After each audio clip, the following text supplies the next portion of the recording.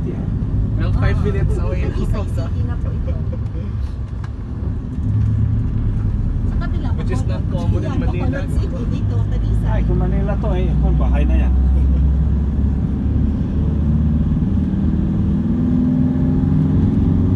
This one is a football field. Oh, So dito nagpa-practice yung mga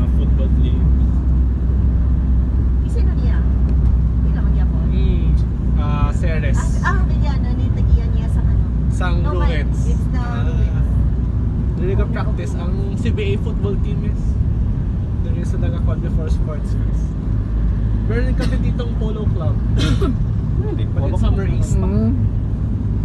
Bacolod Polo Club. One time pumunta dito si ano, Isabel Daza. Para nang mag ano sa Just to grace the yes, event. sa Polo Doon po Club. sa ano,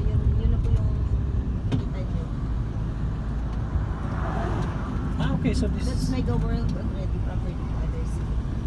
They have properties dito sa north and then doon sa east.